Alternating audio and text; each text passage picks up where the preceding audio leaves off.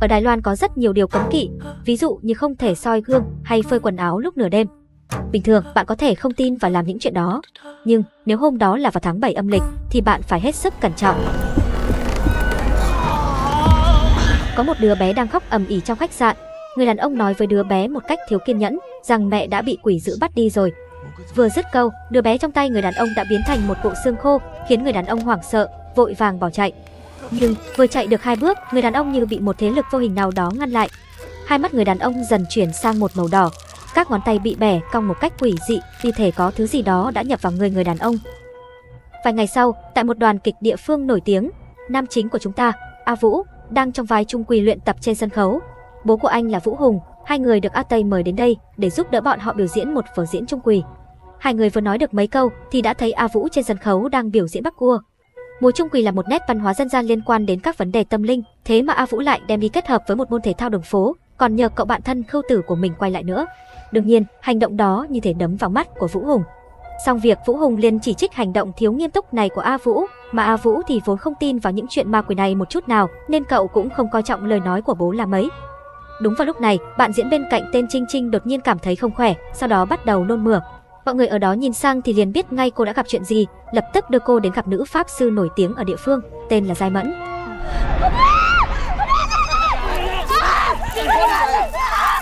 Giai Mẫn chính là cô gái có năng lực ngoại cảm ở phần phim trước đó. Nếu các bạn chưa xem, mình sẽ để ở góc phải màn hình để các bạn tiện theo dõi nha. Sau khi được A Tây nhận làm đồ đệ, giờ đây Giai Mẫn đã trở thành một pháp sư tinh thông đạo thuật, nhìn thoáng qua đã biết Trinh Trinh đã bị tà ma đeo bám. Không để lâu, Giai Mẫn liền cầm một nắm hương, miệng bắt đầu đọc thần chú. Chỉ trong chốc lát, Trinh Trinh đã trở lại bình thường. Và lúc mọi người đều tưởng lễ trừ tà đã thành công, nào ngờ, Trinh Trinh đột nhiên quay sang nhìn A Vũ với đôi mắt đỏ như máu, rồi hung hăng lao về phía cậu ta, khiến A Vũ không kịp trở tay. Mọi người vội ôm lấy Trinh Trinh, định kéo cô ta ra, nhưng không tài nào kéo ra được. Thế vậy, Giai Mẫn liền dùng roi đánh vào đầu Trinh Trinh mới đuổi được thứ trong người cô đi. A Vũ sợ đến mất hồn. Vũ Hùng nói rằng, sự việc vừa rồi như là một lời răng đe cho hành động thất lễ của A Vũ. Nói xong thì tặng cho cậu một tấm bùa hộ mệnh, rồi yêu cầu cậu ta hãy quỳ xuống trước tượng của Trung Quỳ để tạ tội. Nhưng A Vũ không hề nghe lời bố mình, còn ném tấm bùa sang một bên rồi bỏ đi. Đêm đó, tại khách sạn ở đầu phim bỗng nhiên mất điện, ngoài hành lang vắng vẻ không có ai, nhưng lại có tiếng cười đùa của những đứa trẻ đang chơi bóng. Bà chủ khách sạn cầm đèn pin đi kiểm tra. Đột nhiên có một tiếng động lớn phía sau, khiến bà ta giật mình. Men theo âm thanh ấy đến cửa phòng số 621 thì đập vào mắt là thi thể của một người đàn ông đã treo cổ. Cảnh tượng kinh hoàng này khiến bà ta sợ đến mất hồn, mà không để ý thấy có một làn xương đen mờ ảo vừa lao ra khỏi cửa. Cảnh sát đã sớm có mặt tại hiện trường. Theo phong tục, họ phải nhờ thầy cúng để lấy sợi dây treo xuống, nhưng giờ là tháng 7 âm lịch, vốn không có ai muốn nhận làm chuyện này. Trên tầng thượng cũng có một bà đồng đang sinh sống, nhưng bà ta là người Thái Lan, vốn không am hiểu về các phong tục nghi thức của Đài Loan, họ chỉ đành tạm thời cất những đồ vật có liên quan đến người đàn ông kia đi trước. Bạn thân của bà chủ là chị Ly thấy vậy nên đã gọi Khâu Tử đến giúp họ dọn phòng. Khâu Tử và A Vũ cũng chỉ vì muốn kiếm thêm tiền để chi tiêu nên đã đồng ý nhận trọng trách này. Lúc này, bà chủ khách sạn đang mang trái cây lên tầng thượng để thăm bà đồng.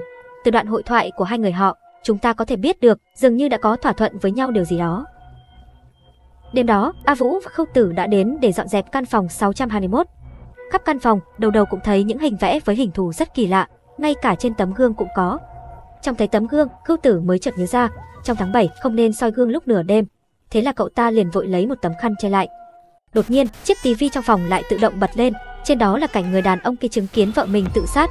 Khưu Tử sợ hãi quay đầu bỏ chạy, ai ngờ lại trông thấy một bóng người đột nhiên xuất hiện ở cửa, đang từ từ mở cánh cửa gỗ ra. Khưu Tử vừa nhắm mắt lại, định chạy vào trong thì lại va vào một cái xác. Khâu Tử sợ quá chẳng dám mở mắt ra, chỉ biết co người lại trên giường. Đến khi A Vũ quay lại thì cậu mới dám mở mắt ra nhìn. Lúc này, A Vũ muốn dọn tấm khăn ra khỏi chiếc gương, nhưng lại bị Khâu Tử ngăn lại. A Vũ vốn không tin vào những chuyện ma quỷ, cậu lập tức lấy tấm khăn ra, khiến Khâu Tử lại sợ tới mức nhắm chặt hai mắt lại, rồi dò dẫm tìm vị trí của A Vũ. A Vũ cố tình trêu Khâu Tử, rồi đẩy cậu ta về phía giường, lấy gối đập cậu ta một trận, sau đó thúc giục Khâu Tử làm việc nhanh rồi về. A Vũ vào dọn nhà vệ sinh, còn khóa trái cửa, mặc kệ cho Khâu Tử đang sợ ma la hét bên ngoài. Không còn cách nào khác, Khâu Tử chỉ đành quay về phòng. Nào ngờ, dưới tấm khăn lúc nãy, hình như có một thứ gì đó đang trồi lên. Khâu Tử vội vàng muốn chạy ra ngoài, nhưng phát hiện cái thứ quái dị đó đang đứng ngay hành lang.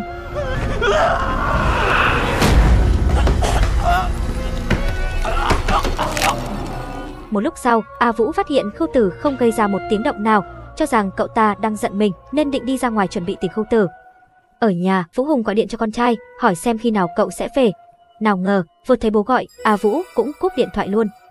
Lúc này, Vũ Hùng đột nhiên phát hiện ra, lư hương trên bàn thờ xuất hiện một hiện tượng lạ. Linh tính liền mách bảo ông, có chuyện không hay sắp xảy ra. A Vũ tìm khắp phòng cũng không tìm thấy Khưu Tử, bấy giờ anh mới phát hiện ra cửa phòng cũng không mở ra được. Anh nghĩ rằng Khưu Tử đang cố ý hù dọa mình. Lúc này, một luồng gió từ sau thổi tới. Xoay đầu lại nhìn thì nhìn thấy sợi dây thừng đang đung đưa. Trông nó thật là gai mắt, thế là cậu vội lấy dao cắt luôn dây thừng không chút do dự. A Vũ thấy vậy vội gọi điện thoại cho bà chủ, cầu cứu bà ta mở cửa hộ mình. Bà chủ cũng nói mình sẽ tới ngay đây.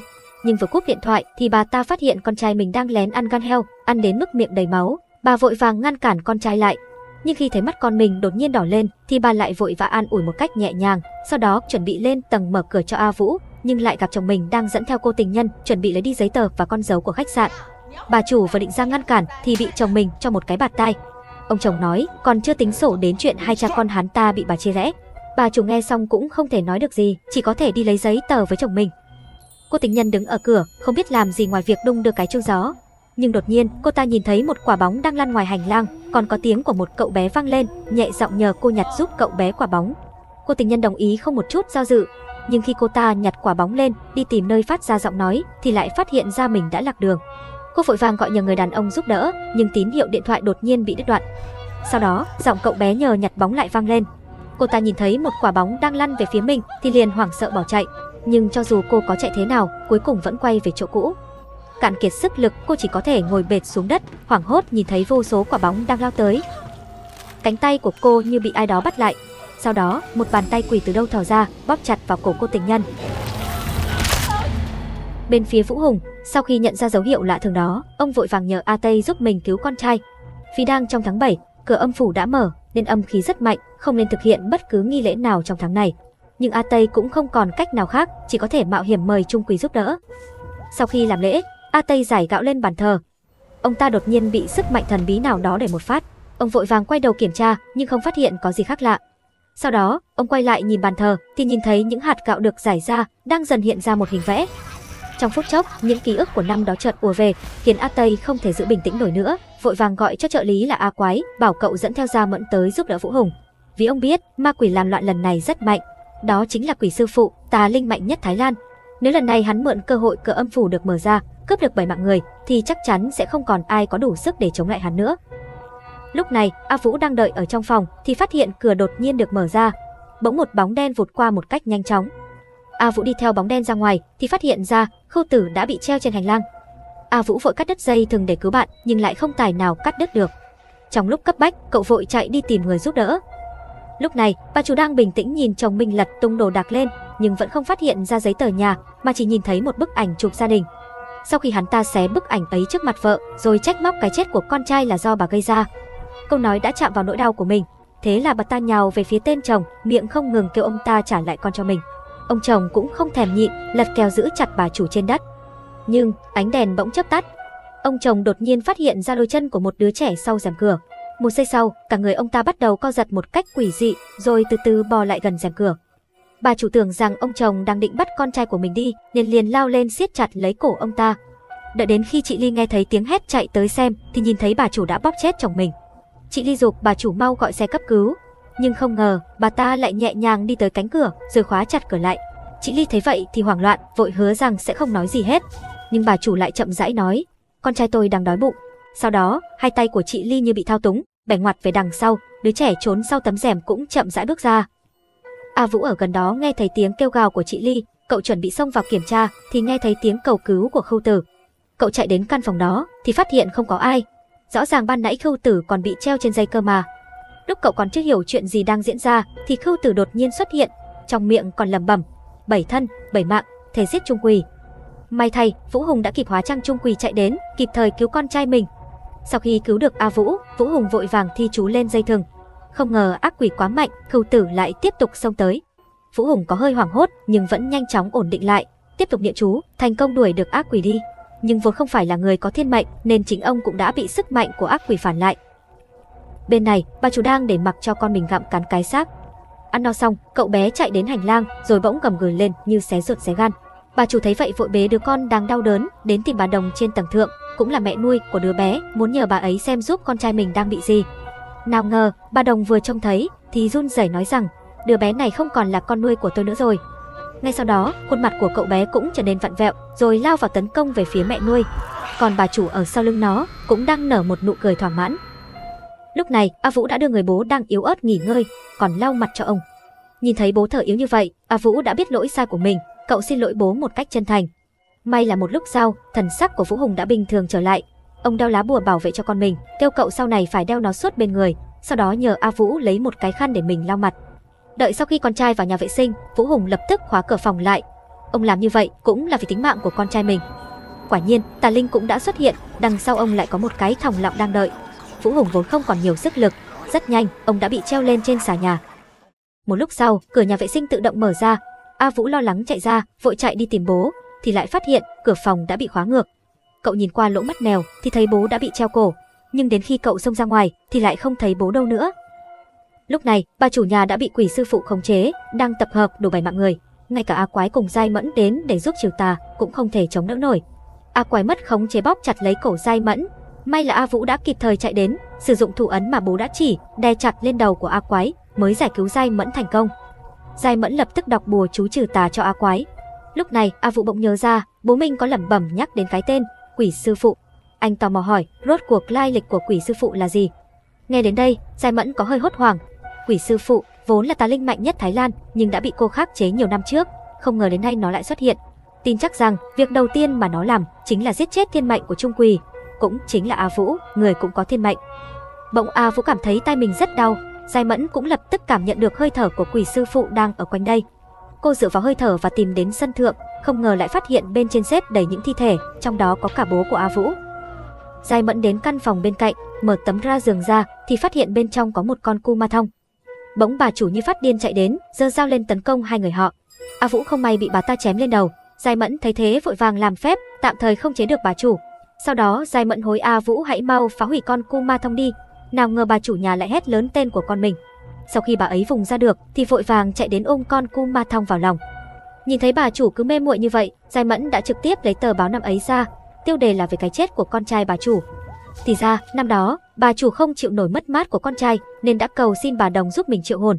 Nào ngờ, sự việc ấy đã khiến con trai của bà không thể nào đầu thai được bà chủ cũng không chịu thôi, thế là bà đã để con trai mình nhập vào một con cu ma thông, rồi xem nó như con trai của mình.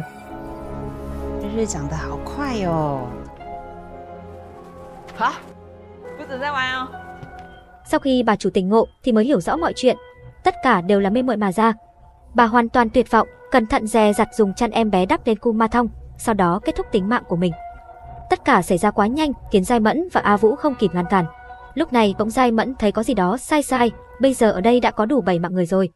Hai người còn chưa kịp phản ứng thì bỗng một cơn gió nổi lên, hai người cũng cảm nhận được một cơn đau như đâm vào tay. Một lúc sau, cả hai đều bất tỉnh. Khi tỉnh lại lần nữa, A Vũ phát hiện mình đang ở trong một không gian lạ. Cậu từ từ bước về phía trước thì lại nhìn thấy đài tế của quỷ sư phụ. Bỗng có một luồng sát khí tấn công A Vũ, cậu cũng lấy dũng khí cầm kiếm lên đánh với nó. Lúc này, sư phụ a tê phát hiện ra bàn tế đã bị nứt. Sức mạnh của quỷ sư phụ quá mạnh, ông chỉ đành cầu xin trung quỷ xuống nhân gian giúp đầu đệ trừ tà. A Vũ đang rơi vào thế tuyệt vọng, bỗng cậu cảm nhận được một luồng sáng dọi lên người mình. Đó chính là bố của cậu. Ông đã dùng máu tươi của A Vũ vẽ lên mặt giúp cậu, còn hỏi cậu có nhớ về cương bộ mà ông đã dạy không? A Vũ nuốt nước mắt gật đầu. 戏曲钟馗是所有钟馗的源头，就算馗爷是扮演的，也一样具有正邪的法力。再搭配七星步罡法， 绕着八卦阵踩七步，馗爷的法力才能完整上升，这样就能镇住所有的妖魔鬼怪。 A Vũ đã nhớ hết mọi thứ, sau đó bắt đầu làm theo những bước trong cương bộ. Quả nhiên, quỷ sư phụ đã bị đánh đến lùi lại.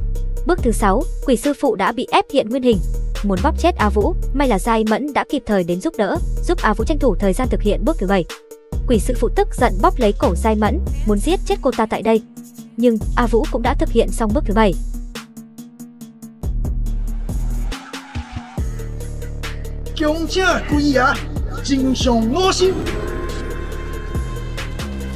A Vũ đã thành công mời được Trung Quỷ nhập vào người, cuối cùng cũng tiêu diệt được quỷ sư phụ. Chỉ tiếc một điều là, những người đã bị quỷ sư phụ hại cũng không thể nào sống lại được nữa. Sau khi xong chuyện, Giai Mẫn đã đem những mảnh vỡ của quỷ sư phụ đi tiêu hủy hết. A Vũ vẫn diễn vai Trung quỷ như xưa. Trong một khoảnh khắc, cậu như đã nhìn thấy được bố đang nắm tay em gái vẫy tay chào tạm biệt mình.